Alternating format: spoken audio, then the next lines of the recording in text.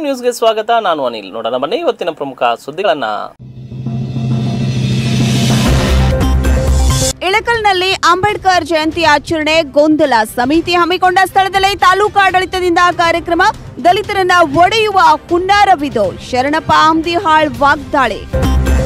ಚೆಂಡು ತೆಗೆಯಲು ಬಾವಿಗಿಳಿದ ಬಾಲಕರು ಬಾರದ ಲೋಕಕ್ಕೆ. ಹದಿನೈದು ವರ್ಷದ ಆಕಾಶ್, ಹದಿಮೂರು ವರ್ಷದ ಆನಂದ್ ಮೃತರು. ಬೆಳಗಾವಿ ತಾಲೂಕಿನ ಮಜ್ಗಾಂವ್ನಲ್ಲಿ ಘಟನೆ.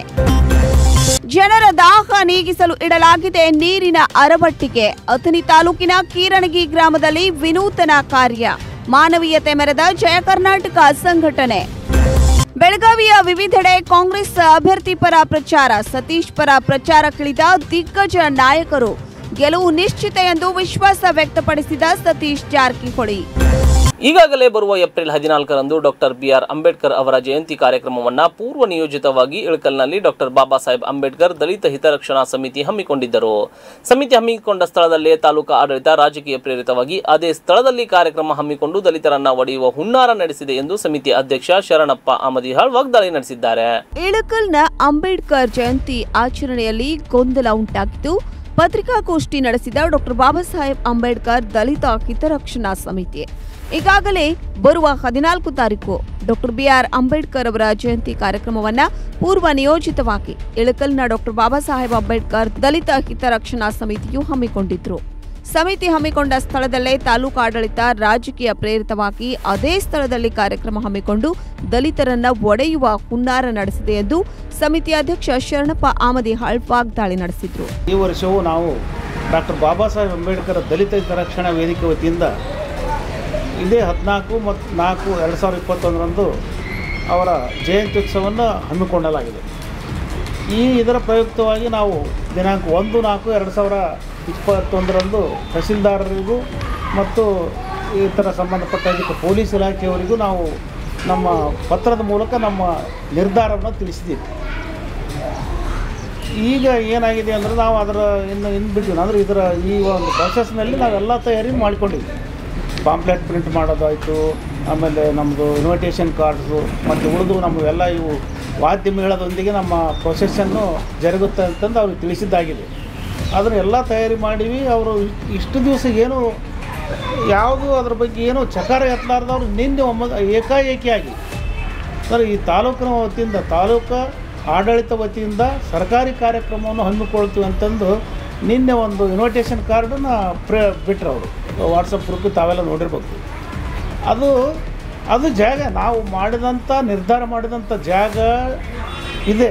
ಅಂದರೆ ಸಮುದಾಯ ಭವನ ಅಲ್ಲಿ ಇನ್ನೊಂದು ಅಂಬೇಡ್ಕರ್ ಭವನ ಇದೆ. ಆಮೇಲೆ ಅವರು ಮಾಡೋ ಸರ್ಕಾರದ, ಸರ್ಕಾರ ವತಿಯಿಂದ ಮಾಡೋರು ಎಲ್ಲಿಯಾದರೂ ಮಾಡ್ಬೋದು. ನಮ್ಮ ಜಾಗನೇ ಯಾಕೆ ಬೇಕು ಅಂತ ನಮ್ಮ ಪ್ರಶ್ನೆ.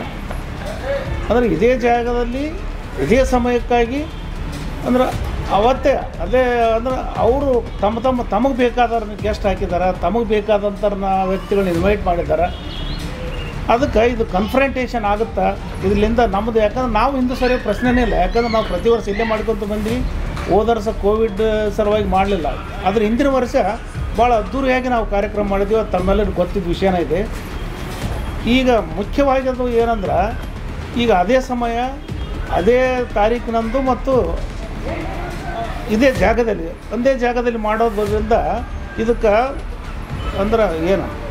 ಗೊಂದಲ ಗೊಂದಲ ನಿರ್ಮಾಣ ಮಾಡ್ರೆ ಅಧಿಕಾರಿಗಳು ಅಧಿಕಾರಿಗಳು ಎಲ್ಲರಿಗೂ ಸರಿಸಮಾನವಾಗಿರ್ಬೇಕು ಅವರು. ಅವರಿಗೆಲ್ಲರೂ ಅಷ್ಟೇ. ನಮ್ಮ ಸಮಾಜದ ವಿಷಯದಲ್ಲಿ ಅವ್ರು ಯಾಕೆ ತಲೆ ಹಾಕಬೇಕು? ಮೊದಲನೇದು ಎರಡನೇದು, ಏಕಾಏಕಿಯಾಗಿ ನಾವು ಅದಕ್ಕಿಂತ ಮುಂಚೆ ಅವ್ರಿಗೆ ಕೊಟ್ಟು ಒಂದೇ ತಾರೀಕಿಗೆ ಲೆಟ್ರ್ ಕೊಟ್ಟಿವಿ. ಅದ್ರ ಬಗ್ಗೆ ಏನಾದರೂ ಹೇಳ್ಬೇಕಾಗಿತ್ತಲ್ಲ ಅವರು. ಮಾಡೋದೇ ನಿಶ್ಚಿತ. ಅವರು ಏನಾದರೂ, ಏ, ನಮ್ಗೆ ಭವನ ಇವು, ಸರ್ಕಾರಿ ಭವನ ಇರ್ಬೋದು. ಸರ್ಕಾರಿ ಭವನ ಇದ್ದರೂ ಸಹಿತ ಅವು ಸಮಾಜಕ್ಕಾಗಿ ಮೀಸಲಾಗಿರ್ತಾವೆ. ಸರ್ಕಾರಿ ಭವನ ಐತೆ ಅಂತಂದು ಅವ್ರಿಗೆ ಏನು ಬೇಕಾದ್ನ ಮಾಡೋಕೆ ಹಂಗೆ ಬ ಹಂಗೆ ಬ, ಹಂಗೆ ಬರೋದಿಲ್ಲ. ಯಾಕಂದ್ರೆ ಸಮುದಾಯ ಭವನ ಯಾವುದೇ ಸಮಾಜಕ್ಕೆ ಕಟ್ಟಿಕೊಟ್ಟರು ಸಮುದಾಯದ ಸಲುವಾಗಿ ಇರ್ತಾವಿನ ಅವು ಅಧಿಕಾರಿಗಳು ಮನಸ್ಸಿಗೆ ಬಂದಂಗೆ ವರ್ತನೆ ಮಾಡೋಕ್ಕೆ ಬರೋದಿಲ್ಲ.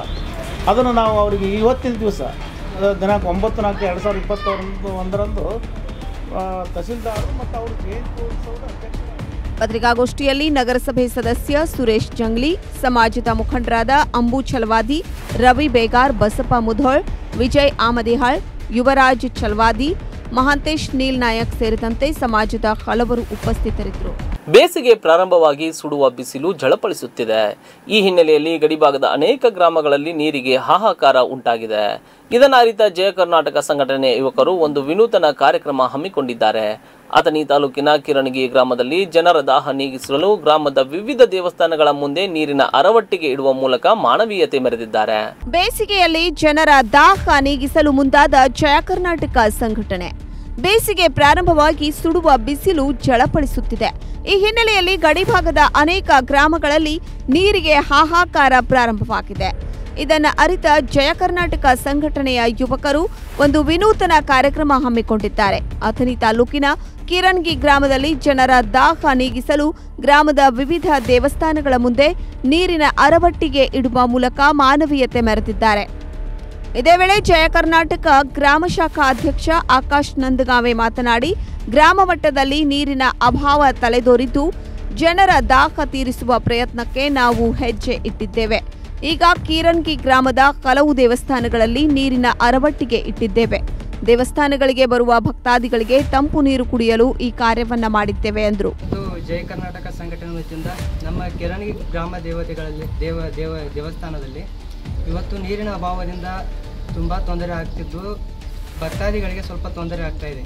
ಆದ್ದರಿಂದ ಜಯ ಕರ್ನಾಟಕ ಸಂಘಟನೆ ವತಿಯಿಂದ ಪ್ರತಿ ದೇವಸ್ಥಾನಕ್ಕೊಂದು ಮಡ್ ಮಣ್ಣಿನ ಮಡಿಕೆಯನ್ನು ಕೊಡಲಾಗುವುದು. ಅದರಿಂದ ಸ್ವಲ್ಪ ನೀರಿನ ಸಮಸ್ಯೆ ಸ್ವಲ್ಪ ಕಡಿಮೆ ಆಗುತ್ತದೆ ಎಂದು ಕಾರ್ಯಕ್ರಮ ಬರೀ ದೇವಸ್ಥಾನ ದೇವಸ್ಥಾನಕ್ಕೆ ಮಾತ್ರ ಆಕಾಶ್ ನಂದಗಾಂವ್ ಜಯ ಕರ್ನಾಟಕ ಸಂಘಟನೆ ಇದೇ ವೇಳೆ ಯುವ ಮುಖಂಡ ಶಶಿಧರ್ ಬರ್ಲಿ ಮಾತನಾಡಿ, ನಾವು ದೇವಾಲಯಗಳಲ್ಲಿ ಮಣ್ಣಿನ ಮಡಿಕೆ ಕೊಡುತ್ತಿದ್ದೇವೆ. ಇದರ ಉದ್ದೇಶ ಇಷ್ಟೇ ಹಲವು ದೇವಸ್ಥಾನಗಳಲ್ಲಿ ನೀರಿನ ಅಭಾವ ಇರುತ್ತದೆ. ಇದನ್ನು ಮನಗಂಡು ನಮ್ಮ ಜಯ ಕರ್ನಾಟಕ ಸಂಘಟನೆಯ ಸದಸ್ಯರೆಲ್ಲರೂ ಸೇರಿಕೊಂಡು ಗ್ರಾಮದ ಪ್ರತಿ ದೇವಸ್ಥಾನಗಳಲ್ಲಿ ಮಡಿಕೆ ಇಟ್ಟು ನೀರಿನ ವ್ಯವಸ್ಥೆ ಮಾಡಿದ್ದೇವೆ. ಇದರಿಂದ ಬರುವ ಅನೇಕ ಭಕ್ತರಿಗೆ ನೀರಿನ ಅನುಕೂಲವಾಗಲಿದೆ. ಮತ್ತು ನಮ್ಮ ಸಂಘಟನೆ ಇಷ್ಟಕ್ಕೆ ಸೀಮಿತವಾಗದೆ ತಾಲೂಕಿನಲ್ಲಿ ಯಾವ ಗ್ರಾಮಗಳಲ್ಲಿ ನೀರಿನ ಅಭಾವ ಇರುವುದೋ ಅಲ್ಲಿಯೂ ಕೂಡ ದೊಡ್ಡ ಮಟ್ಟದ ನೀರಿನ ವ್ಯವಸ್ಥೆ ಮಾಡಲಾಗುವುದು ಎಂದರು. ಗ್ರಾಮದಲ್ಲಿ ಇವತ್ತ ದೇವಾಲಯಗಳಲ್ಲಿ ನಾವು ಮಣ್ಣಿನ ಮಡಿಕೆಯನ್ನು ಕೊಡ್ತಾ ಇದ್ದೀವಿ. ದೇವಾಲಯಕ್ಕೆ ಕೊಡ್ಲಕ್ಕೆ ಕೊಡ್ತಕ್ಕಂಥ ಮುಖ್ಯ ಕಾರಣ ಏನಪ್ಪ ಅಂದ್ರೆ ಅನೇಕ ಭಕ್ತಾದಿಗಳು ದೇವಸ್ಥಾನಕ್ಕೆ ಹೋಗೋದ್ರಿಂದ ಅಲ್ಲಿ ನೀರಿನ ವ್ಯವಸ್ಥೆ ಇರೋದಿಲ್ಲ. ಸೊ ಈ ಈ ದೃಷ್ಟಿ ಇಟ್ಕೊಂಡು ಕಿಶಿಂದ ನಾವು ಸಂಘಟನೆ ವತಿಯಿಂದ ಎಲ್ಲಾ ಸದಸ್ಯರು ಸೇರಿ ಕಿಶಿಂದ ಪ್ರತಿಯೊಂದು ದೇವಾಲಯಕ್ಕೆ ಮಣ್ಣಿನ ಮಡಿಕೆನ ಕೊಡೋದ್ರ ಮೂಲಕ ಆ ದೇವಸ್ಥಾನಕ್ಕೆ ಬರ್ತಕ್ಕಂಥ ಭಕ್ತಾದಿಗಳಿಗೆ ಅನುಕೂಲ ಆಗಲಿ ಈ ಬೇಸಿಗೆ ಕಾಲದಲ್ಲಿ ಅಂತ ಅಂತಕ್ಕಂಥ ಒಂದು ದೃಷ್ಟಿಕೋನ ಇಟ್ಕೊಂಡು ಕಿಶಿಂದ ಇವತ್ತ ನಾವು ನೀರಿನ ಮಡಿಕೆಗಳನ್ನ ಕೊಡ್ತಾ ಇದ್ದೀವಿ ಈ ಕೇವಲ ದೇವಾಲಯಗಳು ಅಷ್ಟೇ ಅಲ್ಲ, ನಾವು ಬರ್ತಕ್ಕಂಥ ಇನ್ನು ಮುಂದಿನ ವಾರದ ನಾವು ಎಲ್ಲಾ ಬಸ್ ಸ್ಟ್ಯಾಂಡ್ಗಳಿಗೂ ಕೂಡ ವ್ಯವಸ್ಥೆನ ಮಾಡ್ತಾ ಇದ್ವಿ. ನಮ್ಮ ಸಂಘಟನೆ ವತಿಯಿಂದ ಆ, ಬರ್ತಕ್ಕಂಥ ಬೇಸಿಗೆ ಕಾಲದಲ್ಲಿ ಅನೇಕ ಜನ ಬಾಯಾರಿಕೆ ಬಾಯಾರಿಕೆಯಿಂದ ಇವತ್ತು ಕೊರೋನಾ ದಿನಮಾನಗಳಲ್ಲಿ ನೀರು ಸಿಗ್ತಾ ಇಲ್ಲ. ಅದಕ್ಕೆ ಬೇರೆ ಕಡೆ ಎಲ್ಲರೂ ಹೋಗಿ ಕೇಳಿದ್ರೆ ಇವತ್ತು ಯಾರು ನೀರು ಕೊಡ್ಲಿಕ್ಕೆ ತಯಾರಿಲ್ಲ. ಕಾರಣ ಅಂತಕ್ಕಂಥದ್ದು ಕೊರೋನಾ. ಸೊ ಅಂತಹ ದೃಷ್ಟಿಕೋನ ಇಟ್ಕೊಂಡು ಸಾರ್ವಜನಿಕ ಅನುಕೂಲವಾಗಲಿ ಅಂತ ಹೇಳಿ ಸಾರ್ವಜನಿಕ ಇರ್ತಕ್ಕಂಥ ಸ್ಥಳಗಳಲ್ಲಿ ನಾವು ಇವತ್ತೆಲ್ಲ ಕಡೆ ನೀರಿನ ವ್ಯವಸ್ಥೆನ ಮಾಡ್ಬೇಕಂತೇಳಿ ಎಲ್ಲಾ ಸಂಘಟನೆಯ ಸದಸ್ಯರು ಇವತ್ತು ನಾವು ತೀರ್ಮಾನ ಮಾಡಿಕೊಂಡಿದ್ದೀವಿ. ಅದರಂತೆಯೇ ಇವತ್ತಿನ ದಿವಸ ಆ, ಚಾಲನೆ ನೀಡಿದ್ದೇವೆ. ಇವತ್ತು ಕಿರಣಿಗೆ ಇರತಕ್ಕಂಥ ಐದು ದೇವಾಲಯಗಳಿಗೆ ಪ್ರಥಮ ಬಾರಿಗೆ ಇವತ್ತು ಚಾಲನೆ ನೀಡಿದ್ದೇವೆ. ಮತ್ತೆ ಬರ್ತಕ್ಕಂಥ ಮುಂದಿನ ದಿನಮಾನಗಳಲ್ಲಿ ನಿರಂತರವಾಗಿ ಸಾರ್ವಜನಿಕರಿಗೆ ತೊಂದರೆ ಆಗದಂತೆ ನೀರಿನ ವ್ಯವಸ್ಥೆಯನ್ನು ಒದಗಿಸಲು ನಾವೆಲ್ಲ ಸಂಘಟನೆ ಪದಾಧಿಕಾರಿ ಇರ್ತೀವಿ ಅಂತ ಕೇಳಿ ಈ ಸಂದರ್ಭದಲ್ಲಿ ತಿಳಿಸಕ್ಕೆ ಇಷ್ಟಪಡ್ತಾ ಇದ್ದೀನಿ ಇದ್ದಾರೆ, ಆದರೂ ಕೂಡ ಕೆಲವೊಂದಿಷ್ಟು ವಿಶೇಷವಾಗಿ ಸಾರ್ವಜನಿಕರು ಅತಿ ಹೆಚ್ಚು ಜನರು ಇರ್ತಕ್ಕಂಥದ್ದಾಗಿರ್ಬೋದು, ದೇವಾಲಯಗಳಾಗಿರ್ಬೋದು ನಮಗೆ ಗಮನಿ, ಗಮನದಲ್ಲಿರ್ತಕ್ಕಂಥದ್ದು ನಾವು ಗಮನಿಸಿಕೊಂಡು ನಮಗೆ ಸಾಧ್ಯದಂತಹ ಮಟ್ಟಿಗೆ ನಾವು ಮಾಡ್ತಾ ಇದ್ದೀವಿ. ಜಯ ಕರ್ನಾಟಕ ಸಂಘಟನೆಯ ಶಾಖಾಧ್ಯಕ್ಷ ಆಕಾಶ್ ನಂದಗಾಂವ್, ಉಪಾಧ್ಯಕ್ಷ ಶೇಖರ್ ಕಾಳಲ್, ರಾಜು ಬಿಜಾಪುರೆ ಸಿದ್ದು ತೇಲಿ, ಶಶಿಧರ್ ಬರ್ಲಿ, ಶಿವಪ್ರಕಾಶ್ ಪಾಟೀಲ್ ಸಂಜಯ್ ವಾಘಮೋಡೆ ಮಲ್ಲಿಕಾರ್ಜುನ್ ನಂದಗಾಂವ್ ಮಾಳಪ್ಪ ಸನದಿ ಶ್ರೀಶೈಲ್ ಕೋಳಿ ಸಂಗಮೇಶ್ ಹಲ್ಯಾಳ್ ಬಸವರಾಜ್ ಕೊಂಕಣಿ ಶೀತಲ್ ಗೊಂಗಡಿ ಬೀರು ತುರಾಯಿ ಪರಗೌಡ ಪಾಟೀಲ್ ಮತ್ತಿತರರು ಉಪಸ್ಥಿತರಿದ್ದರು. ದಿನನಿತ್ಯ ಸಾವಿರಾರು ಜನರು ತಮ್ಮ ದಿನನಿತ್ಯದ ಕೆಲಸ ಕಾರ್ಯಗಳಿಗೆ ಬೆಳಗಾವಿ ಬಾಗಲಕೋಟೆ ಗೋಕಾಕ್ ಧಾರವಾಡ ಹುಬ್ಬಳ್ಳಿ ಇನ್ನು ಹಲವಾರು ನಗರ ಪ್ರದೇಶಗಳು ಹಾಗೂ ಹೊರ ರಾಜ್ಯಗಳಿಗೆ ಹೋಗಲು ಯರಗಟ್ಟಿ ಪಟ್ಟಣ ಕೇಂದ್ರ ಬಿಂದುವಾದ ಹಿನ್ನೆಲೆಯಲ್ಲಿ ಇಲ್ಲಿಗೆ ಜನರು ಬಂದು ಸಾರಿಗೆ ಸೌಲಭ್ಯ ಪಡೆದು ಹಲವಾರು ಪಟ್ಟಣಗಳಿಗೆ ಸಂಚರಿಸುತ್ತಾರೆ. ಆದರೆ ಕಳೆದ ಎರಡು ದಿನಗಳಿಂದ ಸಾರಿಗೆ ಸಿಬ್ಬಂದಿಯವರು ರಾಜ್ಯಾದ್ಯಂತ ಮುಷ್ಕರ ನಡೆಸುತ್ತಿರುವ ಹಿನ್ನೆಲೆಯಲ್ಲಿ ಯರಗಟ್ಟಿ ತಾಲೂಕಿನಲ್ಲಿ ಬಸ್ಸುಗಳ ಸಂಚಾರವಿಲ್ಲದೆ ಸಾವಿರಾರು ಜನರು ಪರದಾಡುವಂತಾಗಿದೆ. ದಿನನಿತ್ಯ ಸಾವಿರಾರು ಜನರು ತಮ್ಮ ದಿನನಿತ್ಯದ ಕೆಲಸ ಕಾರ್ಯಗಳಿಗೆ ಬೆಳಗಾವಿ, ಬಾಗಲಕೋಟೆ, ಗೋಕಾಕ್, ಧಾರವಾಡ, ಹುಬ್ಬಳ್ಳಿ, ಇನ್ನು ಹಲವಾರು ನಗರ ಪ್ರದೇಶಗಳು ಮತ್ತು ಆಂಧ್ರಪ್ರದೇಶ, ಮಹಾರಾಷ್ಟ್ರ, ಗೋವಾ ಹೊರ ರಾಜ್ಯಗಳಿಗೆ ಹೋಗಲು ಯರಗಟ್ಟಿ ಪಟ್ಟಣ ಕೇಂದ್ರ ಬಿಂದುವಾದ ಹಿನ್ನೆಲೆಯಲ್ಲಿ ಇಲ್ಲಿಗೆ ಜನರು ಬಂದು ಸಾರಿಗೆ ಸೌಲಭ್ಯವನ್ನು ಪಡೆದು ಹಲವಾರು ಪಟ್ಟಣಗಳಿಗೆ ಸಂಚರಿಸುತ್ತಾರೆ. ದಿನನಿತ್ಯ ನೂರಾರು ಬಸ್ಗಳು ಓಡಾಡುವ ಸಂದರ್ಭವಿದ್ದು, ಎರಡು ದಿನಗಳಿಂದ ಸಾರಿಗೆ ಸಿಬ್ಬಂದಿಯವರು ರಾಜ್ಯಾದ್ಯಂತ ಮುಷ್ಕರ ಹಿನ್ನೆಲೆಯಲ್ಲಿ ಇಂದು ಯರಗಟ್ಟಿ ತಾಲೂಕಿನಲ್ಲಿ ಬಸ್ಗಳ ಸಂಚಾರವಿಲ್ಲದೆ ಸಾವಿರಾರು ಜನ ಪ್ರಯಾಣಿಕರು ಪರದಾಡುವಂತಾಯಿತು. ಲೋಕಸಭಾ ಉಪಚುನಾವಣೆ ನಿಮಿತ್ತವಾಗಿ ಯರಗಟ್ಟಿಗೆ ದೌಡಾಯಿಸಿದ ಮಾನ್ಯ ಮುಖ್ಯಮಂತ್ರಿಗಳಾದ ಬಿಎಸ್ ಯಡಿಯೂರಪ್ಪ ಹಾಗೂ ಸಚಿವರೊಂದಿಗೆ ನಮ್ಮ ಸತ್ಯಂ ಟಿವಿ ಪ್ರತಿನಿಧಿಯವರು ಸಾರಿಗೆ ನೌಕರರ ಮುಷ್ಕರದ ಬಗ್ಗೆ ಪ್ರಶ್ನಿಸಿದ್ದಾಗ ಸಚಿವರಾದ ಶ್ರೀಮಂತ್ ಪಾಟೀಲ್ ಅವರು ಈ ರೀತಿ ಉತ್ತರ ನೀಡಿದ್ದಾರೆ. ನೋಡೋಣ ಬನ್ನಿ. ಆದರೂ ಕೂಡ ಅದು ಮಾಡ್ತಕ್ಕಂಥದ್ದು ಅದು ಸ್ವಲ್ಪ ತಪ್ಪು ಅನಿಸ್ತದೆ ಆದರೆ ಮತ್ತು ಡಿಸಿಷನ್ ಮಾಡಿ ಅದು ಹಿಂದೆ ತಗೋತಾರು ಹಿಂದೆ ತಗೋತಾರು ಇದು ಕೊಟ್ಟು ನಾವು ಭಾಳಷ್ಟು ಇಂಥ ದಿವಸದಲ್ಲಿ, ಕೊರೋನಾ ಕಾಲದಲ್ಲಿ ಕೂಡ ನಾವು ಎಲ್ಲ ಬೇಡಿಕೆ ಒಪ್ಕೊಂಡಿದ್ದೀವಿ ಅಂದರೆ ಖರೆ ತಗೋಬೇಕು ಅಂತ ನಕ್ಕಿ ತಗೋಬೇಕು. ರಾಜ್ಯದಲ್ಲಿ ಕೊರೋನಾ ಎರಡನೇ ಅಲೆ ಹೆಚ್ಚಳ ಹಿನ್ನೆಲೆ ಇಂದು ರಾತ್ರಿಯಿಂದಲೇ ನೈಟ್ ಕರ್ಫ್ಯೂ ಜಾರಿ ಮಾಡಲಾಗಿದೆ. ಬೆಂಗಳೂರು, ಮೈಸೂರು ಸೇರಿ ಎಂಟು ನಗರಗಳಲ್ಲಿ ಕೊರೋನಾಗೆ ಕಡಿವಾಣ ಹಾಕಲು ನಿರ್ಬಂಧ ಹೇರಲಾಗಿದೆ. ರಾಜ್ಯದಲ್ಲಿ ಕೊರೋನಾ ಎರಡನೇ ಅಲೆ ಹೆಚ್ಚಾಗಿರುವ ಹಿನ್ನೆಲೆಯಲ್ಲಿ ಇಂದು ರಾತ್ರಿಯಿಂದಾನೇ ನೈಟ್ ಕರ್ಫ್ಯೂ ಜಾರಿ ಮಾಡಲಾಗಿದೆ. ಬೆಂಗಳೂರು, ಮೈಸೂರು ಸೇರಿ ಎಂಟು ನಗರಗಳಲ್ಲಿ ಕೊರೋನಾಗೆ ಕಡಿವಾಣ ಹಾಕಲು ನಿರ್ಬಂಧ ಹೇರಲಾಗಿದೆ. ವೈದ್ಯ ಸೇವೆ, ತುರ್ತು ಚಟುವಟಿಕೆಗಳಿಗೆ ಮಾತ್ರ ಅವಕಾಶ. ಜೊತೆಗೆ ಬಸ್, ರೈಲು, ವಿಮಾನ ಪ್ರಯಾಣ, ಕ್ಯಾಬ್ಗಳು, ಹೂವು, ಹಣ್ಣು, ತರಕಾರಿ, ಅಗತ್ಯ ವಸ್ತುಗಳನ್ನು ಸಾಗಿಸುವ ವಾಹನಗಳು ಸಂಚರಿಸಲಿವೆ. ಇ ಕಾಮರ್ಸ್ ವಾಹನಗಳು ಫುಡ್ ಹೋಮ್ ಡೆಲಿವರಿಗೆ ಅನುಮತಿ ನೀಡಲಾಗಿದೆ. ರಾತ್ರಿ ಪಾಳಿ ಕೆಲಸ ನಿರ್ವಹಿಸುವವರು ರಾತ್ರಿ ಹತ್ತು ಗಂಟೆಯ ಒಳಗೆ ಕಚೇರಿ ತಲುಪಬೇಕು. ಬೆಳಗ್ಗೆ ಐದು ಗಂಟೆಯ ನಂತರ ಹೊರಗೆ ಬರಬೇಕು. ಆಸ್ಪತ್ರೆಗೆ ಹೋಗುವವರು ರೋಗಿಗಳ ಆರೈಕೆಗೆ ತೆರಳುವವರು ಸೂಕ್ತ ದಾಖಲೆ ತೋರಿಸಬೇಕು. ಕಂಪನಿ ಕಾರ್ಖಾನೆಗಳ ನೌಕರರು ಹತ್ತು ಗಂಟೆಯೊಳಗೆ ಮನೆ ಸೇರಬೇಕು. ಹೋಟೆಲ್, ರೆಸ್ಟೋರೆಂಟ್ ಗ್ರಾಹಕರು ಹತ್ತು ಗಂಟೆಯೊಳಗೆ ಮನೆ ಸೇರಿಕೊಳ್ಳಬೇಕು. ನೈಟ್ ಕರ್ಫ್ಯೂ ಸಂದರ್ಭದಲ್ಲಿ ಸಾರ್ವಜನಿಕರಿಗೆ ಯಾವುದೇ ಪಾಸ್ ವಿತರಣೆ ಮಾಡೋದಿಲ್ಲ. ತುರ್ತು ಕಾರ್ಯಗಳಿಗಾಗಿ ಓಡಾಡುವವರು ಗುರುತಿನ ಚೀಟಿ ತೋರಿಸಬೇಕಿದೆ. ವೈದ್ಯಕೀಯ ಸೇವೆ ಮತ್ತು ತುರ್ತು ಚಟುವಟಿಕೆಗೆ ಮಾತ್ರ ಅನುಮತಿ ನೀಡಲಾಗಿದ್ದು ಉಳಿದಂತೆ ಎಲ್ಲಾ ವಾಣಿಜ್ಯ ಚಟುವಟಿಕೆಗಳಿಗೆ ನಿರ್ಬಂಧ ಹೇರಲಾಗಿದೆ. ಅನಗತ್ಯವಾಗಿ ತಿರುಗಾಡುವವರ ವಿರುದ್ಧ ಕ್ರಮ ಕೈಗೊಳ್ಳಲಾಗುವುದು. ಮುಷ್ಕರದಲ್ಲಿ ಭಾಗಿಯಾದ ಸಾರಿಗೆ ನೌಕರರಿಗೆ ಸಂಬಳವಿಲ್ಲ ಎಂಬುದಾಗಿ ಬೀದರ್ನಲ್ಲಿ ಉಪಮುಖ್ಯಮಂತ್ರಿ ಹಾಗೂ ಸಾರಿಗೆ ಸಚಿವ ಲಕ್ಷ್ಮಣ್ ಸವದಿ ತಿಳಿಸಿದ್ದಾರೆ. ಸಾರಿಗೆ ನೌಕರರ ಮುಷ್ಕರ ಹಿನ್ನೆಲೆ ಒಂಬತ್ತು ಗಂಟೆಯವರೆಗೆ ರಾಜ್ಯಾದ್ಯಂತ ಸಂಚರಿಸಿ ಸಾರಿಗೆ ಬಸ್ಗಳಷ್ಟು ಗೊತ್ತಾ? ಸಾರಿಗೆ ನೌಕರರು ವಿವಿಧ ಬೇಡಿಕೆ ಈಡೇರಿಕೆಗೆ ಆಗ್ರಹಿಸಿ ನಡೆಸುತ್ತಿರುವಂತಹ ಮುಷ್ಕರ ಇಂದಿಗೆ ನಾಲ್ಕನೇ ದಿನಕ್ಕೆ ಕಾಲಿಟ್ಟಿದೆ. ಯುಗಾದಿಯ ಮುನ್ನಾ ದಿನ ನಡೆಯುತ್ತಿರುವಂತಹ ಸಾರಿಗೆ ನೌಕರರ ಮುಷ್ಕರದಿಂದಾಗಿ ಸಾರಿಗೆ ಬಸ್ಗಳಿಲ್ಲದೆ ಪ್ರಯಾಣಿಕರು ಪರದಾಡುವಂತಹ ಸ್ಥಿತಿ ರಾಜ್ಯಾದ್ಯಂತ ನಿರ್ಮಾಣಗೊಂಡಿದೆ. ಸಾರಿಗೆ ನೌಕರರ ಮುಷ್ಕರಕ್ಕೆ ಮಣಿಯದ ರಾಜ್ಯ ಸರ್ಕಾರ ದಿನಕ್ಕೊಂದು ಬ್ಲ್ಯಾಕ್ ಮೇಲ್ ತಂತ್ರಗಾರಿಕೆ ಅನುಸರಿಸುವ ಮೂಲಕ ನೌಕರರನ್ನ ಕೆಲಸಕ್ಕೆ ಹಾಜರಾಗುವಂತೆ ಒತ್ತಡ ಕೂಡ ಹೇರುತ್ತಿದೆ. ಸಾರಿಗೆ ನೌಕರರ ಮುಷ್ಕರ ಎಫೆಕ್ಟ್ ಹತ್ತು ಗಂಟೆಯವರೆಗೆ ರಾಜ್ಯಾದ್ಯಂತ ಸಂಚರಿಸಿ ಸಾರಿಗೆ ಬಸ್ಗಳಷ್ಟು ಗೊತ್ತಾ ಇತ್ತ.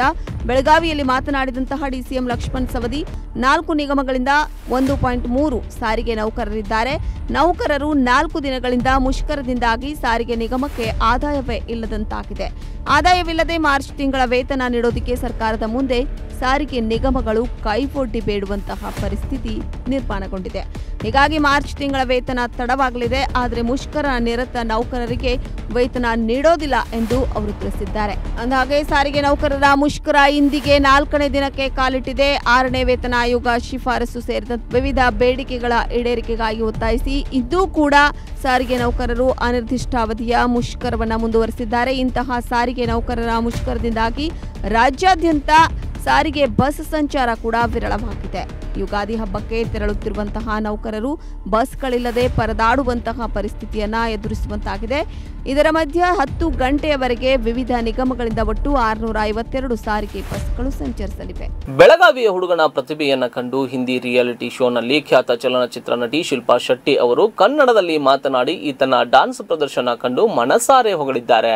ಇಂದು ಪ್ರತಿಭೆ ಅನಾವರಣ ಮಾಡಲು ಸಾಕಷ್ಟು ವೇದಿಕೆಗಳಿವೆ. ರಿಯಾಲಿಟಿ ಶೋಗಳು ಗ್ರಾಮೀಣ ಭಾಗದಿಂದ ಹಿಡಿದು ನಗರ ಭಾಗದವರೆಗಿನ ಪ್ರತಿಭೆಗಳಿಗೆ ಅವರಲ್ಲಿರುವ ಸಾಮರ್ಥ್ಯ, ಕೌಶಲ್ಯ ಹೊರಹಾಕಲು ಅವಕಾಶ ಇದೆ. ರಾಜ್ಯದ ಕುಂದಾನಗರಿ, ಬೆಳಗಾವಿಯ ಹುಡುಗನೊಬ್ಬರ ಬಾಲಿವುಡ್ ನಟಿ ಶಿಲ್ಪಾ ಶೆಟ್ಟಿಯ ಬಳಿ ಕನ್ನಡ ಮಾತನಾಡಿಸಿದ್ದಾನೆ. ಅಷ್ಟೇ ಅಲ್ಲದೆ ಡಾನ್ಸ್ ಮೂಲಕ ಹೊಗಳಿಸಿಕೊಂಡಿದ್ದಾನೆ. ಕನ್ನಡದಲ್ಲಿ ಮಾತನಾಡಿದ ಶಿಲ್ಪಾ ಶೆಟ್ಟಿ ಬೆಳಗಾವಿ ಮೂಲದ ಪೃಥ್ವಿರಾಜ್ ಅಶೋಕ್ ಕೊಂಗಾರಿ ಎನ್ನುವ ಒಂಬತ್ತು ವರ್ಷದ ಹುಡುಗ ಸೋನಿ ಟಿವಿಯ ಸೂಪರ್ ಡ್ಯಾನ್ಸರ್ ಕಾರ್ಯಕ್ರಮದ ಆಡಿಷನ್ನಲ್ಲಿ ಅದ್ಭುತವಾದ ಪ್ರದರ್ಶನ ನೀಡಿದ್ದನು.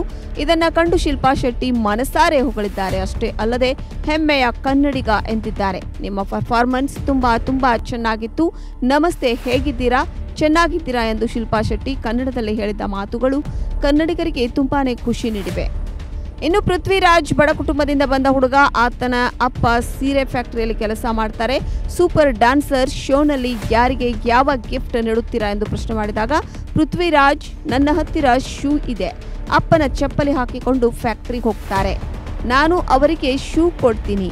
ಎಂದಿರೋದು ಎಲ್ಲರ ಮೆಚ್ಚುಗೆ ಗಳಿಸಿದೆ. ನಾನು ದೊಡ್ಡವನಾದ ಮೇಲೆ ತುಂಬಾ ಬಡತನ ಬಂತು, ದುಡ್ಡಿನ ತೊಂದರೆ ಆಯಿತು, ದುಡ್ಡಿಲ್ಲ ಅಂದ್ರೆ ಮನೆ ಖಾಲಿ ಮಾಡು ಅಂತ ಮನೆಯ ಮಾಲೀಕರು ಹೇಳ್ತಾರೆ. ಅಮ್ಮನಿಗೆ ಬೆನ್ನು ನೋವಿನ ಸಮಸ್ಯೆ ಇದೆ, ಅವರು ಹಾಸಿಗೆ ಮೇಲೆ ಇರುತ್ತಾರೆ, ಅಮ್ಮನಿಗೆ ನೋವು ಹೆಚ್ಚಾದರೆ ಅಪ್ಪ ಊಟ ಮಾಡೋದಿಲ್ಲ. ನಾನು ಮೂರು ಕನ್ನಡ ಸಿನಿಮಾ ಮಾಡಿದ್ದೇನೆ. ಕನ್ನಡ ಅರ್ಥವಾಗುತ್ತದೆ. ಅಷ್ಟೊಂದು ಕನ್ನಡ ಮಾತನಾಡೋಕೆ ಬರಲ್ಲ. ಪೃಥ್ವಿರಾಜ್ ಮುಖದಲ್ಲಿ ಭರವಸೆ ಕಾಣುತ್ತಿದೆ. ಆತನ ಹಾವಭಾವ ಅದ್ಭುತವಾಗಿತ್ತು. ಹೆಸರಿನಲ್ಲಿಯೇ ರಾಜ ಇರುವಂತೆ ಡ್ಯಾನ್ಸ್ ಕೂಡ ರಾಜನಂತೆ ಮಾಡಿದ್ದಾರೆ. ಆತನ ಡ್ಯಾನ್ಸ್ ನೋಡಿ ರೋಮಾಂಚನವಾಯಿತು. ತುಂಬಾ ಹೆಮ್ಮೆ ಕೂಡ ಆಯಿತು. ನಿಮ್ಮ ಪರ್ಫಾರ್ಮೆನ್ಸ್ ತುಂಬಾ ತುಂಬಾ ಚೆನ್ನಾಗಿತ್ತು. ನಿಮ್ಮ ಕಣ್ಣುಗಳು ಬಲ್ಬ್ ರೀತಿ ಹೊಳೆಯುತ್ತಿತ್ತು. ಪವರ್ಫುಲ್ ಪರ್ಫಾರ್ಮೆನ್ಸ್ ಎಂದು ಶಿಲ್ಪಾ ಶೆಟ್ಟಿ ಪೃಥ್ವಿರಾಜ್ ಡ್ಯಾನ್ಸ್ ಬಗ್ಗೆ ಹೊಗಳಿದ್ದಾರೆ. ಚಿಕ್ಕ ವಯಸ್ಸಿನಲ್ಲೇ ಈ ರೀತಿ ನನ್ನ ಮಗ ಯೋಚನೆ ಮಾಡುತ್ತಿರುವುದೇ ದೊಡ್ಡ ವಿಷಯವಾಗಿದೆ. ಹದಿನೈದನೇ ವರ್ಷಕ್ಕೆ ಕೆಲಸ ಮಾಡಲು ಆರಂಭಿಸಿದೆ ನನ್ನ ಬಾಲ್ಯ ಯಾವಾಗ ಮುಗಿತು ಅಂತಲೇ ಗೊತ್ತಾಗಲಿಲ್ಲ. ನನಗಾಗಿ ನಾನು ಎಂದಿಗೂ ಬದುಕಲಿಲ್ಲ. ಒಂದಾದ ಮೇಲೆ ಒಂದರಂತೆ ಸಮಸ್ಯೆ ಬಂತು. ನಾನು ಬಡತನ ನೋಡಿದ್ದೇನೆ. ಹೀಗಾಗಿ ಸಿಕ್ಕಾಪಟ್ಟೆ ಕೆಲಸ ಮಾಡುತ್ತೇನೆ. ಜನರು ಕೂಡ ಮಗನನ್ನ ಫ್ಯಾಕ್ಟರಿ ಕೆಲಸಕ್ಕೆ ಕಳುಹಿಸು ದುಡ್ಡು ಸಿಗುತ್ತೆ ಅಂತಾರೆ. ನನ್ನ ಹಾಗೆ ನನ್ನ ಮಗ ಆಗೋದು ಬೇಡ. ಮಗುವಿಗೆ ಯಾವ ರೀತಿಯ ಹೆಸರು ಇಡುತ್ತೀರೋ ಆ ರೀತಿ ಆಗುತ್ತಾರಂತೆ. ಹೀಗಾಗಿ ಪೃಥ್ವಿರಾಜ್ ಅಂತ ಹೆಸರಿಟ್ಟೆ. ಅವನು ಏನು ಆಗಬೇಕು ಅಂತ ಅಂದ್ಕೊಳ್ತಾನೋ ಅದಕ್ಕೆ ನನ್ನ ಬೆಂಬಲವಿದೆ ಎಂದು ಪೃಥ್ವಿರಾಜ್ ತಂದೆ ಅಶೋಕ್ ಹೇಳಿದ್ದಾರೆ. ಯಾವುದೇ ಕರ್ತವ್ಯ ನಿರ್ವಹಿಸಲಿ, ಅಲ್ಲಿ ಮಾನವೀಯತೆ ಇರಬೇಕು. ಹುಬ್ಬಳ್ಳಿಯ ಮಹಾನಗರ ಪಾಲಿಕೆಯ ಮುಂಭಾಗದಲ್ಲಿ ಮಳೆಯಲ್ಲಿ ಬಿದ್ದು ಗಾಯಗೊಂಡಿದ್ದ ವ್ಯಕ್ತಿಯನ್ನ ಹುಬ್ಬಳ್ಳಿಯ ಪೂರ್ವ ಸಂಚಾರಿ ಠಾಣೆಯ ಪೊಲೀಸರು ಆಟೋದಲ್ಲಿ ಹತ್ತಿರದ ಕಿಮ್ಸ್ಗೆ ದಾಖಲಿಸಿ ಮಾನವೀಯತೆ ಮೆರೆದಿದ್ದಾರೆ. ಹುಬ್ಬಳ್ಳಿಯ ಮಹಾನಗರ ಪಾಲಿಕೆ ಮುಂಭಾಗದಲ್ಲಿ ಮಳೆಯಲ್ಲಿ ಬಿದ್ದು ತೀವ್ರವಾಗಿ ಗಾಯಗೊಂಡಿದ್ದ ವ್ಯಕ್ತಿಯನ್ನ ಹುಬ್ಬಳ್ಳಿಯ ಪೂರ್ವ ಸಂಚಾರಿ ಪೊಲೀಸ್ ಠಾಣೆಯ ಪಿಎಸ್ಐ ಶರಣ್ ದೇಸಾಯಿ. ಸಿಬ್ಬಂದಿಗಳಾದ ಸೋಮಶೇಖರ್ ಮೇತ್ರಿ, ಮಲ್ಲಿಕಾರ್ಜುನ್ ಶಿರಣ್ಣವರ್, ಚನ್ನಪ್ಪ ಗೌಡ್ರು, ಶಂಭು ಎಲ್ಲರೂ ಸೇರಿಕೊಂಡು ಆಟೋದಲ್ಲಿ ಹತ್ತಿಸಿ ಹುಬ್ಬಳ್ಳಿಯ ಕಿಮ್ಸ್ಗೆ ರವಾನೆ ಮಾಡಿದ್ರು. ಸಾರ್ವಜನಿಕವಾಗಿ ಬಿದ್ದು ಕೆಸರಿನಲ್ಲಿಯೇ ಹೊರಳಾಡುತ್ತಿದ್ದ ವ್ಯಕ್ತಿಯನ್ನ ನೋಡಿಯೂ ನೋಡದಂತೆ ಹೋಗುತ್ತಿದ್ದ ಸಾರ್ವಜನಿಕರ ನಡುವೆ ಪೊಲೀಸರು ಮಾನವೀಯತೆ ಮೆರೆದಿದ್ದು ಎಲ್ಲರಲ್ಲೂ ಖುಷಿಯನ್ನ ಮೂಡಿಸಿತು ಪೊಲೀಸರಲ್ಲಿ ಮಾನವೀಯತೆ ಹೆಚ್ಚಿದೆ. ಕೆಲವು ಎಲ್ಲ ಕಡೆಯೂ ಹುಳುಗಳು ಇರುತ್ತವೆ. ಹೊರತಾಗಿ ಇದ್ದವುಗಳೆಲ್ಲ ಹುಳುಗಳೇ ಅಲ್ಲ ಎಂಬುದು ಪೊಲೀಸರನ್ನ ಮೂದಲಿಸುವವರು ತಿಳಿದುಕೊಳ್ಳಬೇಕಿದೆ. ಕರ್ನಾಟಕದಲ್ಲಿ ನಡೆಯುತ್ತಿರುವ ಎರಡು ವಿಧಾನಸಭೆ ಹಾಗೂ ಬೆಳಗಾವಿ ಲೋಕಸಭಾ ಉಪಚುನಾವಣೆಯಲ್ಲಿ ನಮ್ಮ ಗೆಲುವು ಖಚಿತ ಎಂದು ಸಿಟಿ ರವಿ ಹೇಳಿದರು. ಅವರು ಬೆಳಗಾವಿ ವಿಮಾನ ನಿಲ್ದಾಣಕ್ಕೆ ಬಂದಿಳಿದಾಗ ಮಾಧ್ಯಮದ ಜೊತೆ ಮಾತನಾಡಿದ ಅವರು, ಕಾಂಗ್ರೆಸ್ ಮುಕ್ತ ಭಾರತದ ಕನಸು ಸದ್ಯದಲ್ಲಿ ಈಡೇರಲಿದೆ ಎಂದರು. ಕರ್ನಾಟಕದಲ್ಲಿ ನಡೆಯುತ್ತಿರುವ ಎರಡು ವಿಧಾನಸಭೆ ಹಾಗೂ ಬೆಳಗಾವಿ ಲೋಕಸಭಾ ಉಪಚುನಾವಣೆಯಲ್ಲಿ ನಮ್ಮ ಗೆಲುವು ಖಚಿತ ಎಂದು ಸಿಟಿ ರವಿ ತಿಳಿಸಿದ್ರು. ಅವರು ಬೆಳಗಾವಿಯ ವಿಮಾನ ನಿಲ್ದಾಣಕ್ಕೆ ಬಂದಿಳಿದಾಗ ಮಾಧ್ಯಮಗಳ ಜೊತೆ ಮಾತನಾಡುತ್ತಿದ್ರು. ಕಾಂಗ್ರೆಸ್ ಮುಕ್ತ ಭಾರತದ ಕನಸು ಸದ್ಯದಲ್ಲೇ ಈಡೇರಲಿದೆ ಎಂದರು ಅಷ್ಟೇ ಅಲ್ಲ ಇಂದಿನ ಭಾರತದ ಸ್ಥಿತಿಗೆ ಎಪ್ಪತ್ತು ವರ್ಷ ಆಡಳಿತ ಮಾಡಿದ ಕಾಂಗ್ರೆಸ್ ಆಡಳಿತವೇ ಕಾರಣ ಎಂದರು ಬಿಜೆಪಿ ಜನವಿರೋಧಿ ಸರ್ಕಾರ ಕಾಂಗ್ರೆಸ್ ಇಲ್ಲಿ ಪ್ರಚಾರ ಕಾರ್ಯದಲ್ಲಿ ಜನವಿರೋಧಿ ಅಂದರೆ ಅವ್ರ ದೃಷ್ಟಿಯಲ್ಲಿ ಭ್ರಷ್ಟಾಚಾರ ಮಾಡಬೇಕು. Two G three G four G ಯಾರ ಕಾಲದಲ್ಲಿ ನಡೆದಿದ್ದು? ಕಾಮನ್ವೆಲ್ತು ಯಾರ ಕಾಲದಲ್ಲಿ ನಡೆದಿದ್ದು? ಕೆ ಜಿ ಬೇಸಿನ್ ಯಾರ ಕಾಲದಲ್ಲಿ ನಡೆದಿದ್ದು? ಎಲ್ಲ ಹಗರಣಗಳು ಕಾಂಗ್ರೆಸ್ ಕಾಲದಲ್ಲೇ ನಡೆದಿದ್ದು. ಅವರಿಗೆ ಹಗರಣ ಮಾಡಿದರೆ ಮಾತ್ರ ಸರ್ಕಾರ ಅಸ್ತಿತ್ವದಲ್ಲಿದೆ ಅಂತ ಅನಿಸುತ್ತೆ ಅವರಿಗೆ. ಕರ್ನಾಟಕದಲ್ಲೂ ಕೂಡ ಲೋಕಾಯುಕ್ತ ಬಾಗಿಲು ಹಾಕಿ ಎ ಸಿ ಬಿ ತಂದು ಕ್ಲೀನ್ ಚಿಟ್ ಕೊಟ್ಕೊಳ್ಳೋ ಕೆಲಸ ಯಾರು ಮಾಡಿದವರು?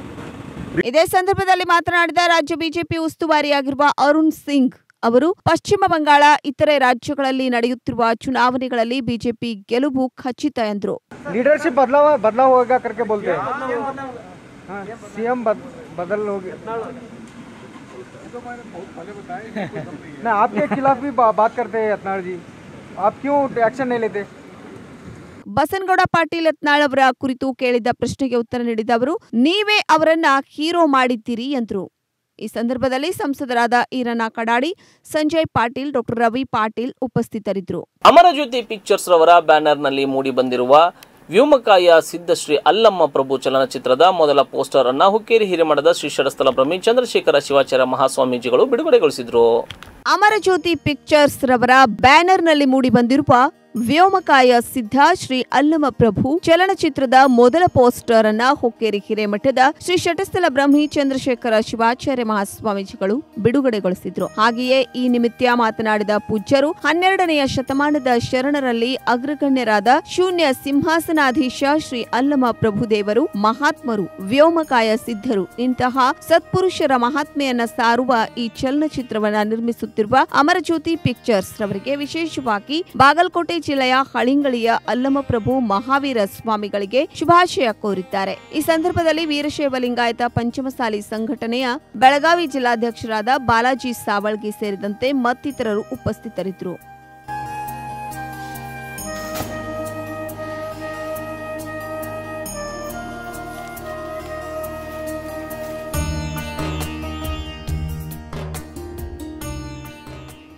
ನಮ್ಮ ಕಾರ್ಯಕರ್ತರು ಈಗಾಗಲೇ ಸಕ್ರಿಯವಾಗಿ ಪ್ರಚಾರದಲ್ಲಿ ತೊಡಗಿದ್ದಾರೆ.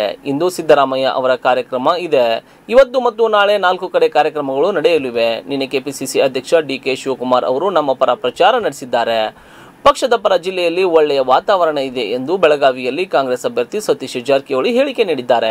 ನಮ್ಮ ಕಾರ್ಯಕರ್ತರು ಈಗಾಗಲೇ ಸಕ್ರಿಯವಾಗಿ ಪ್ರಚಾರದಲ್ಲಿ ತೊಡಗಿದ್ದಾರೆ. ಇಂದು ಸಿದ್ದರಾಮಯ್ಯ ಅವರ ಕಾರ್ಯಕ್ರಮ ಇದೆ. ಇವತ್ತು ಮತ್ತು ನಾಳೆ ನಾಲ್ಕು ಕಡೆ ಕಾರ್ಯಕ್ರಮಗಳು ನಡೆಯಲಿದ್ದು, ನಿನ್ನೆ ಕೆಪಿಸಿಸಿ ಅಧ್ಯಕ್ಷ ಡಿಕೆ ಶಿವಕುಮಾರ್ ನಮ್ಮ ಪರ ಪ್ರಚಾರ ನಡೆಸಿದ್ದಾರೆ ಎಂದು ಬೆಳಗಾವಿಯಲ್ಲಿ ಕಾಂಗ್ರೆಸ್ ಅಭ್ಯರ್ಥಿ ಸತೀಶ್ ಜಾರಕಿಹೊಳಿ ಹೇಳಿಕೆ ನೀಡಿದ್ದಾರೆ. ದಿನದಿಂದ ದಿನಕ್ಕೆ ಕಾಂಗ್ರೆಸ್ ಕಾರ್ಯಕರ್ತರಲ್ಲಿ ಹುಮ್ಮಸ್ಸು ಹೆಚ್ಚಾಗ್ತಿದೆ. ಬೇರೆ ಪಕ್ಷದ ಕಾರ್ಯಕರ್ತರು ನಮ್ಮ ಪಕ್ಷ ಸೇರುತ್ತಿದ್ದಾರೆ. ಜಿಲ್ಲೆಯಲ್ಲಿ ಒಳ್ಳೆಯ ವಾತಾವರಣ ನಿರ್ಮಾಣವಾಗಿದೆ. ಗೆಲುವಿನ ಅಂತರ ಹೇಳೋಕ್ಕಾಗಲ್ಲ, ಆದರೆ ಗೆಲುವು ಮಾತ್ರ ನಿಶ್ಚಿತ. ಬೆಳಗಾವಿಯಲ್ಲಿ ಕಾಂಗ್ರೆಸ್ ಅಭ್ಯರ್ಥಿ ಸತೀಶ್ ಜಾರಕಿಹೊಳಿ ವಿಶ್ವಾಸ ವ್ಯಕ್ತಪಡಿಸಿದ್ದಾರೆ. ನಮ್ಮ ಸಕ್ರಿಯವಾಗಿ ಪಾಲ್ಗ, ಪಾಲ್ಗೊಂಡಿದ್ದಾರೆ. ಇವತ್ತು ಸಿದ್ದರಾಮಯ್ಯ ಅವರ ಕಾರ್ಯಕ್ರಮದಲ್ಲಿ ಇವತ್ತು ನಾಳೆ ನಾಲ್ಕು ಕಡೆ ಕಾರ್ಯಕ್ರಮ ಮಾಡ್ತಾ ಇದ್ದೀವಿ. ನಿನ್ನೆ ಕೂಡ ಅಧ್ಯಕ್ಷ ಕೂಡ ಒಂದು ಪರವಾಗಿ ಪ್ರಚಾರ ಮಾಡಿದ್ದಾರೆ. ಸೊ ಒಳ್ಳೆ ರೀತಿಯಿಂದ ಸಾಗ್ತಾ ಇದೆ.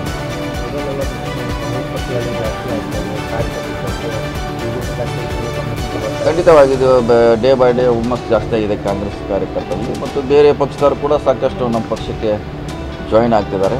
ಸೊ ಈ ಒಂದು ಒಳ್ಳೆಯ ವಾತಾವರಣ ನಿರ್ಮಾಣ ಆಗಿದೆ ಕಾಂಗ್ರೆಸ್ ಪರವಾಗಿ. ಇಲ್ಲಪ್ಪ ಅಂತರ ಹೇಳಕ್ಕಾಗಲ್ಲ, ಗೆಲ್ಲೋದು ಮಾತ್ರ ನಿಶ್ಚಿತ. ಅಂತರ ಆಮಾಗಿ ಹೇಳ್ತೀವಿ. ಅಂತ ಹೇಳಕ್ಕಾಗಲ್ಲ, ಗೆಲ್ಲೋದು ನಿಶ್ಚಿತ. ಬೆಳಗಾವಿ ತಾಲೂಕು ಮಜಗಾಂವ್ ಗ್ರಾಮದಲ್ಲಿ ಇಬ್ಬರು ಬಾಲಕರು ಮನೆಯ ಬಳಿಯ ಬಾವಿಯಲ್ಲಿ ಬಿದ್ದು ಮೃತಪಟ್ಟಿದ್ದಾರೆ. ಮೃತ ಬಾಲಕರನ್ನ ಹದಿನೈದು ವರ್ಷದ ಆಕಾಶ್ ಹಣಬರ್, ಹದಿಮೂರು ವರ್ಷದ ಆನಂದ್ ಅಡಿವೆಪ್ಪ ಹಣಬರ್ ಎಂದು ಗುರುತಿಸಲಾಗಿದೆ. ಬಾವಿಯಲ್ಲಿ ಬಿದ್ದಿದ್ದ ಚೆಂಡನ್ನ ಹೊರತೆಗೆಯುವ ಯತ್ನದಲ್ಲಿ ಇಬ್ಬರು ಬಾಲಕರು ಬಾರದ ಲೋಕಕ್ಕೆ ತೆರಳಿದ್ದಾರೆ. ಕುಟುಂಬಸ್ಥರ ಆಕ್ರಂದನ ಮುಗಿಲು ಮುಟ್ಟಿದೆ. ಬೆಳಗಾವಿ ತಾಲೂಕಿನ ಮಜ್ಗಾಂವ್ ಗ್ರಾಮದಲ್ಲಿ ಇಬ್ಬರು ಬಾಲಕರು ಮನೆ ಬಳಿಯ ಬಾವಿಯಲ್ಲಿ ಬಿದ್ದು ಮೃತಪಟ್ಟಿದ್ದಾರೆ. ಮೃತರನ್ನ ಹದಿನೈದು ವರ್ಷದ ಆಕಾಶ್ ಹಣ್ಬರ್ ಹದಿಮೂರು ವರ್ಷದ ಆನಂದ್ ಅಡಿವೆಪ್ಪ ಹಣ್ಬರ್ ಎಂದು ಗುರುತಿಸಲಾಗಿದೆ. ಆಕಾಶ್ ಮತ್ತು ಆನಂದ್ ಮನೆಯ ಮುಂದೆ ಚೆಂಡು ಆಡುತ್ತಿದ್ರು. ಚೆಂಡು ಹತ್ತಿರದಲ್ಲೇ ಇದ್ದ ಬಾವಿಗೆ ಉರುಳಿತು. ಅದನ್ನ ತಡೆಯಲು ಪೈಪ್ ಹಿಡಿದು ಆನಂದ ಬಾವಿಗೆ ಇಳಿದಿದ್ದಾನೆ. ಆದರೆ ಅಲ್ಲಿಂದ ಮೇಲೆ ಬರಲಾಗದೆ ಉಸಿರುಗಟ್ಟಿ ಚೀರಲು ಆರಂಭಿಸಿದ್ದಾನೆ. ಇದನ್ನ ಕೇಳಿದ ಆಕಾಶ್, ಬಾವಿಗೆ ಇಳಿದು ಸಹೋದರನನ್ನ ರಕ್ಷಿಸಲು ಮುಂದಾಗಿದ್ದಾನೆ ಇಬ್ಬರು ಸಹೋದರರು ಚಿರಾಡುತ್ತಾ ಬಾವಿಯಲ್ಲೇ ಜೀವ ಕಳೆದುಕೊಂಡಿದ್ದಾರೆ.